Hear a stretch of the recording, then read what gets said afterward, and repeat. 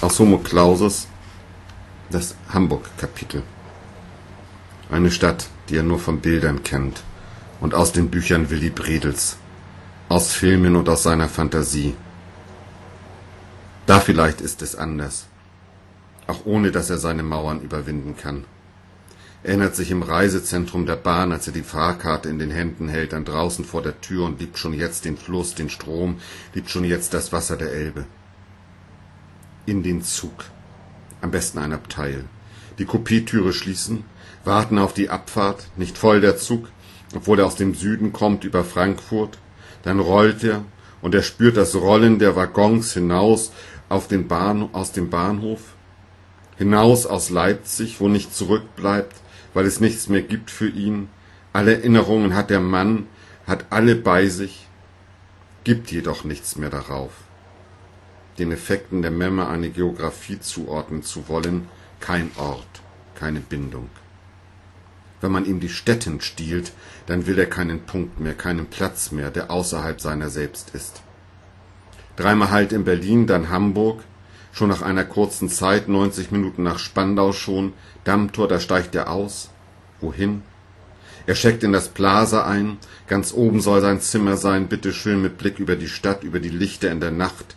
Die beginnt am Taglicht der Stadt zu nagen, der Stadt am großen Strom, und die Dämmerung ruft rotes Sonnensterbelicht hervor, bald aber das der Neonreklamen und Straßenlampen. Auf das Zimmer. Und hinausblicken. Und dann wieder herunter, ein Bier in der Bar. Und dann ein Taxi nehmen zum Hafen.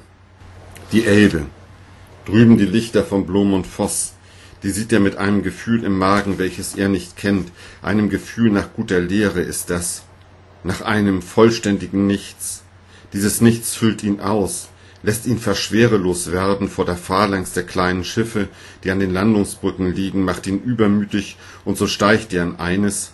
Sie versprechen eine Lichterfahrt zu machen über die abendliche Elbe, und er spürt den Schlag der Wellen gegen den Rumpf, spürt das Heben und Senken, riecht den Strom, riecht das graue Wasser, das so ist wie in seiner Vorstellung. Hört die Möwen, denkt an die Bilder der Reeperbahn, denkt ans Ficken, fühlt eine fremde Art von Geilheit aufsteigen in sich, eine, die sich aktiv gibt, die nicht nur nach Befreiung von der Lust, nicht nur nach dem Tod der Lust zu gieren scheint, sondern die Wonnen der Begierde erleben will, fühlt sich fremd, fühlt sich ganz auswärts, fühlt sich vor seiner Mauer, ist voll Glück, will fast schreien deshalb, bis jemand beginnt, über die Lautsprecher zu sprechen, beginnt zu erzählen über Schiffe und Hafen, Witze zu machen. Das Schiff fährt schon dabei, bis einer damit alles, was dem Mann eben noch real, möglich auch erschien, bis einer das alles zu einer Sinnestäuschung macht und der Mann wieder ist in der Mauer, in dem Wall, doppelt eingesperrt gar, im Wall, auf Schiff, auf Elbe, in Hamburg, in sich selbst. Er blickt auf den Fluss, den er nicht mehr riecht, und die Lichter, die nichts mehr sind als Beleuchtung für irgendeinen Zweck, und die Möwen, die nichts sind als weiße Vögel, und hofft auf eine schnelle Rückkunft an die Landungsbrücken, die er sofort fliehen wird, hinauf, hinauf zur Reeperbahn, voll Hoffnung, dass wenigstens noch das geblieben ist, die Lust auf Wollust, die Lust der Begierde, die Lust, Leben erfahren zu wollen, wenigstens das noch.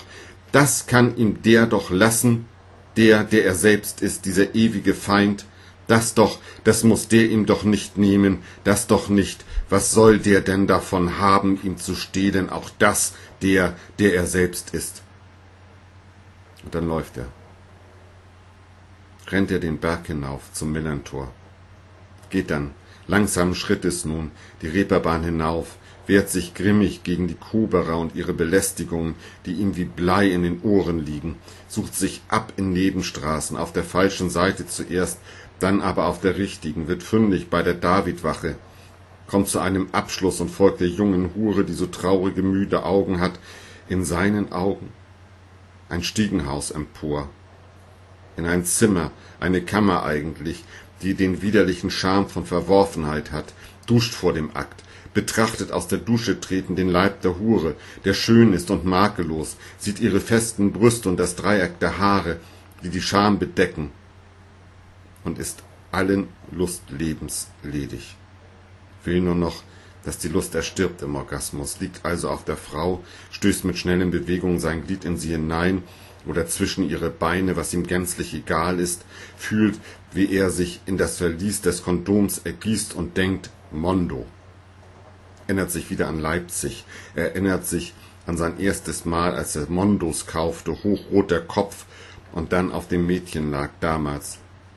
Erinnert sich an den Geruch des jungen Weibes, der nichts mit dem Parfümgeruch der Frau zu tun hat, die nun unter ihm liegt, und will weinen, denkt, wie schön es wäre, heulen zu können wie ein Schlosshund, den Tränen freien Lauf zu lassen und mit den Tränen die Steine der Mauer fortzuspülen und von der Seele zu schwemmen, aber es kommt keine Träne. Ganz stumm bleibt er auf dem Rücken liegen, nachdem er sich von der Frau gerollt hat wie ein Sack, spricht nicht, antwortet der Hure nicht, will keine Konversation, zieht sich das Kondom vom Schwanz und wirft es mit den gefangenen Spermien in den Papierkorb neben dem Bett, dann aufstehen, ankleiden und fliehen, immer fliehen. Zurück ins Hotel, zurück in das Zimmer und auf die Stadt sehen, die ganze Nacht auf die Stadt sehen. Da will er schon zur Elbe gehen. Es muss doch Stellen geben, wo man seine Hand in das Wasser stecken kann, wo man sie streicheln kann. Die Elbe, den großen grauen Fluss, wo man mit ihm reden kann wie in dem Stück von Borchert. Da kann man doch mit der reden, denkt der Mann, und ihr sagen, sie soll einen aufnehmen und nicht wieder gehen lassen. Aufnehmen mit all den Tonnen Steinen, mit all der Not und ihre Wasser drüber decken und denkt auch, dass im Wasser das Gewicht doch leichter wäre, leichter zu tragen. Aber es geht nicht. Und er sucht nicht nach einer Stelle, um den Fluss zu streicheln, bleibt in seinem Zimmer blickt auf die Stadt, trinkt Bier aus der Minibar, legt sich ins Bett, starrt an die Decke, beobachtet den Morgen, der geboren wird aus dieser hamburgischen Nacht. Und mit dem Morgen kommt der Schlaf, kurz, tief, traumlos, grau, bedrückend, wie ein Tod kommt der, aber es ist kein guter Tod, keiner, der hält für alle Zeiten, ein kurzer Tod nur ist er, der ihn entlässt und wieder hinauswirft aus seinem Reich, über die Grenze drückt wieder in das Leben, Frühstück im Hotel, Brötchen, Kaffee, Rühreier, Speck, Orangensaft. Denn Hunger hat er immer. Und immer fragt er sich, wie einer wie er Hunger haben könne in diesem Maße, in diesem Ausmaße und dann zum Bahnhof. Wohin nur? Wohin soll er noch laufen, noch fliehen? Alle Fluchten führen zu keinem Ende der Flucht.